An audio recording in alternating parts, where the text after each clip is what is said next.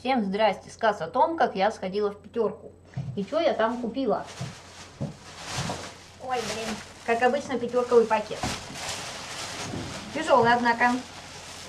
В общем, там вообще я тупо хотела какого-нибудь сока, но вдруг увидела, что там есть какой-то сок. Я уже потом услышала голос человека, который объяснял, ну, продавец там какой-то бабушке, что типа это 3 плюс 1 или 2 по цене одного, как-то так. И я глянула, смотрю, что там тоже вроде как акции, и оказалось, что надо купить 4 штуки, и одна из них будет бесплатно. Так они типа там по 11 с чем-то бы вышли. А если покупать по одной штуке, то 15 с чем-то. В общем, я купила 4 вот таких э, э, великой глобальной деревни Вишня. Как-то покупала уже хорошую. Я сначала хотела вообще полноценный флакон купить, эту упаковку, там 950 миллилитров, тут у нас 200 миллилитров. Э, в мозгу посчитала, поняла, что 69 рублей за 950 миллилитров или по 11 вот это вот выйдет как-то дешевле вот этими. А потом вообще увидела акцию. В общем, вот один у меня. Вот у меня второй Вообще сначала хотела взять э, маленькую коробочку персикового или какого-то там, или абрикосового, уж не помню, нектара. А когда поняла, что это надо еще покупать дофига, и вдруг я их не выпью, решила ограничиться вишневым. В общем, еще одна вишня. Ее, конечно, не видно, но я, вы видите, как я достаю. И еще одна вишня. Потом, что у нас тут еще? Купила я пакет молока, последний, рыбинский. Цены я на нем не увидела, увидела уже на чеке. За 47 с чем-то у нас это рефинское цельное молоко. Э, сейчас узнаем, сколько тут жирности. 3,8 жирности, 29 марта оно сделано, 24 часа после вскрытия и всего 7 суток хранится. А у меня сейчас такая проблема, женщина, у которой я беру козье молоко, она сейчас копит это молоко, потому что, я так подозреваю, она православная, потому что она копит это молоко на Пасху. А Пасха у нас делается из творога. В общем, я давно уже так недели две или типа того, или дней 10, недели две или три. Или дней 10. Ну, короче, сколько-то там уже прилично без козьего молока. Хотя мне бабушка приносила, а, двоюродная моя бабушка. Последняя бабушка из семейства Смирновых приносила, значит, э, мне немножко творожка. Ну, там где-то, не знаю, как она сказала на раз, но мне вышло на два раза. В дар такой. Купила я себе самый дешевый порошок.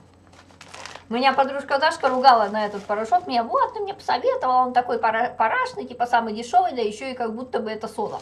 Не знаю насчет состава, может это и правда сода. И купила я себе вот такую фигню. Вообще я покупаю уже вот за последнюю неделю, хоть сегодня понедельник, второй раз такую парочку. Дешевое самое средство для мытья посуды 500 мл, красная цена. Причем, по-моему, оно дешевле, чем порошок. Раньше порошок такой был в другом пакетике, и можно было его купить что-то за 12 что ли, рублей. Сейчас он уже 14 или 16, как-то так. В общем, что хочу сказать. Если у вас вдруг возникла ситуация, что вам надо отмыть до хрена посуды, и у вас есть огромная такая кастрюля эмалированная, то вот эти два средства, дешевая и сердито, как мне моя тетя сказала, самое дешевое, купить стиральный порошок и средство для мытья посуды. В общем, заливаете это все, можно половинку, по половинке того и другого в огромную кастрюлю эмалированную, заливаете туда воду, зафигачиваете туда посуду, кипятите. Она мне вообще сказала 6 часов кипятить, на 2 часа кипятила, вот уже в третий раз, вот и меня еще на четвертый раз, вот, возможно, даже на пятый. А, посуда дофига. Э, то, короче, оно, в принципе, все отмывается. У меня даже отмылась моя крышка от сковороды, которую вообще ничем не могла отмыть.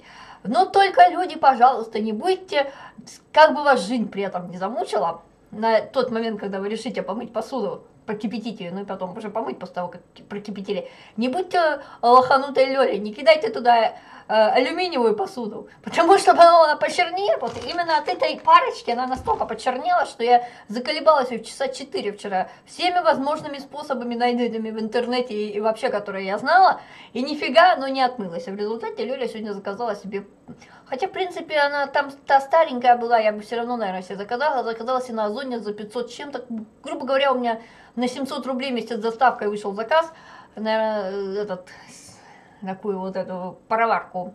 Два в одном такая кастрюлька, потом еще кастрюлька с дырочками, а потом крышечка. Правда, по отзывам было написано, что дизайн у нее такой, типа как Советский Союз, но сделана она совсем недавно. Возможно, потом даже вам повезет, и я ее обозрю. А может и не повезет. Короче, алюминий нельзя вот этой хренью кипятить. Вы, возможно, знаете, но я как-то вообще совершенно из головы на тот момент вылетела. И я зафигачила все, что можно было побольше, а потом, когда заметила, так уже смотрю, оно что-то так потемнело. Я достала, достала, звоню тете, она говорит, Лёля, а я что забыла тебе сказать, что она мне сказала всю посуду, которая есть. Ну, всю, которая есть, я не захреначила. В общем, я купила себе минералки, 19 с чем-то, пол-литра. Заповедник здоровья и сундуки четвер... номер 4. Насколько я помню, то ли мне надо было когда-то, когда-то я болела этим желудком, пить ессентуки четвертую, то ли еще что-то. Ну, короче, я периодически покупаю четвертую, вообще так, раз в полгода, раз в год, когда клюнет. А тут я целый месяц, все, наверное, хотела какую-нибудь минералку, и вот тут ну, меньше месяцев с дня варенья, с юбилеем моей тети, я что-то хотела все минералки. И вот э, там была минералка, и мне что-то хотела, думаю, надо дома купить минералку. Все забыла, вот купила наконец-то минералку. Все, правда, вот такой. И она совершенно не по скидке, она просто так стоит.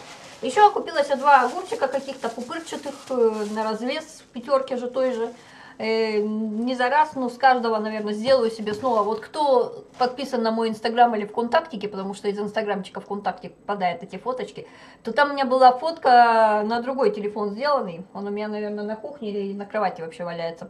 Вы его все равно видите. В общем, на Alcatel мегафоновский смартфон. Подозреваю, что это вообще фирмы Huawei мегафоновский смартфон ибо там какие-то познавательные знаки есть. Ну, короче говоря, у него камера намного мощнее, чем у этого. И есть у меня там фотка, где у меня фунчоза с огурчиком, с чесночком там зафигаченная. Короче, очень вкусная. Когда-то просто брала у нашей кореянки на часовом районе э, в магазине этой корейской еды азиатской, этот пунчозу холодную с чесночком, огурчиком, подсолнечным маслом и чем-то еще. И, в общем, я решила вот это вот повторить дома сама, и получилось именно так. И в горячем виде вкусно, и в холодном виде вообще шикарно. И решила я делать снова вот сегодня. В общем, вот такой у меня обзор. А, кто более внимательный, вот у меня уже второй такой обзор, после, видос точнее. На том видосе на заднем фоне чуть больше барахла было, сейчас вот барахла практически нет. Кто внимательный, тот кое-что понял, а кто не внимательный, ну, значит вам это и не надо. Всем пока!